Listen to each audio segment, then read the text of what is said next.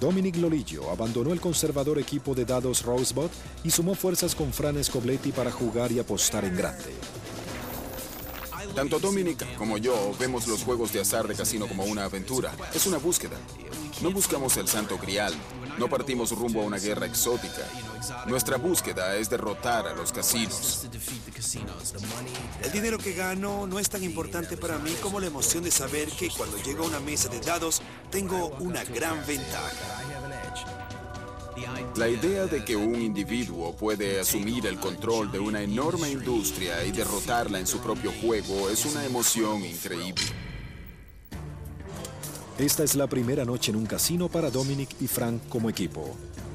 Cuando se entra en un casino y se sabe que se tiene la ventaja, es como estar en una de esas antiguas películas del oeste de Hollywood en las que todo se mueve en cámara lenta mientras el héroe entra en el pueblo. Ahora Dominic juega con alguien que desea derrotar al casino tanto como él. ¡Sí! Mi objetivo como jugador favorecido, que es como llamamos al jugador que realmente puede tener una ventaja sobre el casino, es ganar dinero. Ese es el resultado final. ¡Sí! Sale el mismo lanzador. 500 dólares al lanzador. Frank aumenta su apuesta y Dominic se encuentra a sí mismo en el tipo de juego de dados que siempre ha soñado. ¿Hablas en serio? ¿A dónde vamos? Si sigues lanzando los dados así, solo existe un lugar a donde ir.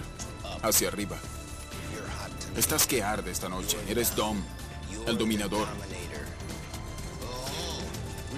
Tenemos un par de linces aquí que tienen un sistema.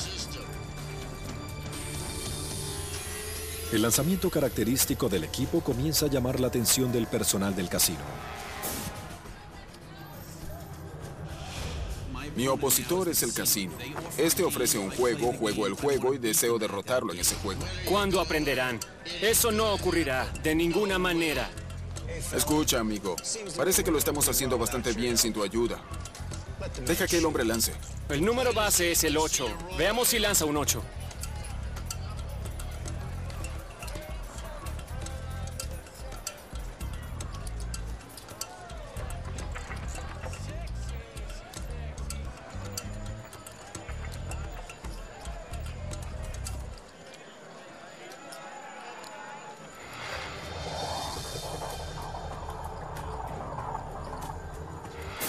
Muy bien, sí. ¡Sí! Sí. Vamos. La próxima vez que tengas 14 mil dólares en fichas frente a ti, puedes darme un consejo. Hasta entonces, aléjate. A pesar de la incesante interferencia, Dominic y Frank idean una estrategia agresiva.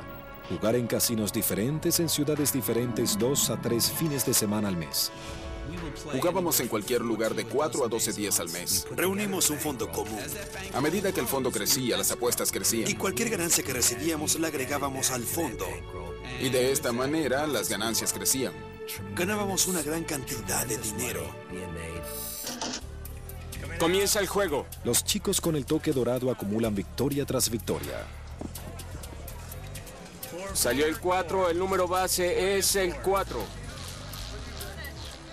Tuvo una racha de 30 tiros antes del 7, luego de 33 antes del 7 y luego de 38 antes del 7. Y tomen en cuenta que la posibilidad es lanzar un 7 cada 6 tiros. Vamos, hazlo como si pescaras peces en un barril. Apuesto otros mil.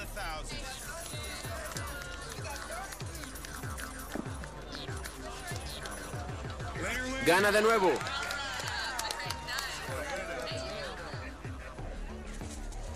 Saliendo. El tiro de salida debe ser 7. Vamos, lance. No olvide golpear la pared. La interferencia se ha vuelto seria y pone en juego la concentración del dominador. Algo tan simple como eso, créanlo o no, puede hacer estallar la mesa como una bomba. Era el 7, no el 5.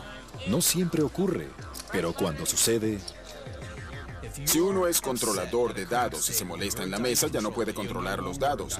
Uno se convierte en un lanzador aleatorio. Es mejor salir de ahí porque si uno está algo molesto y un poco distraído, pierde. Punto. Cuando se juega los dados en un casino, uno siempre será el equipo visitante. Y los casinos son profesionales en el arte de hacer perder la concentración. Pero el acoso no evita que Dominic y Frank ganen en grande, muy grande. Ha ocurrido muchas veces durante mi buena racha o la de Frank que hemos ganado miles de dólares en la mesa de dados. Acumulan reservas en efectivo fenomenales, alcanzando seis cifras en menos de un año. Nuestro fondo combinado es enorme. Y a medida que aumenta el fondo, también aumentan las apuestas. Si nuestro fondo para esa noche es de 100 mil dólares, estoy dispuesto a perder o arriesgar entre 7 mil y 10 mil dólares. En una sola jugada. Pero ganarle a los casinos es siempre un arma de doble filo. Como Chris y Jerry siempre le habían advertido, a los casinos no les gusta que alguien gane demasiado dinero.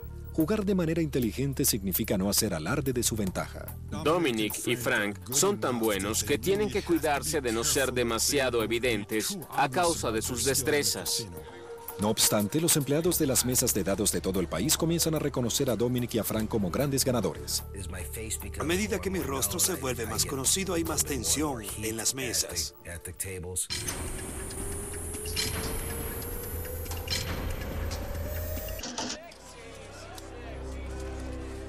Una noche en Las Vegas, un jefe de mesa reconoce a Dominic y juega con su concentración.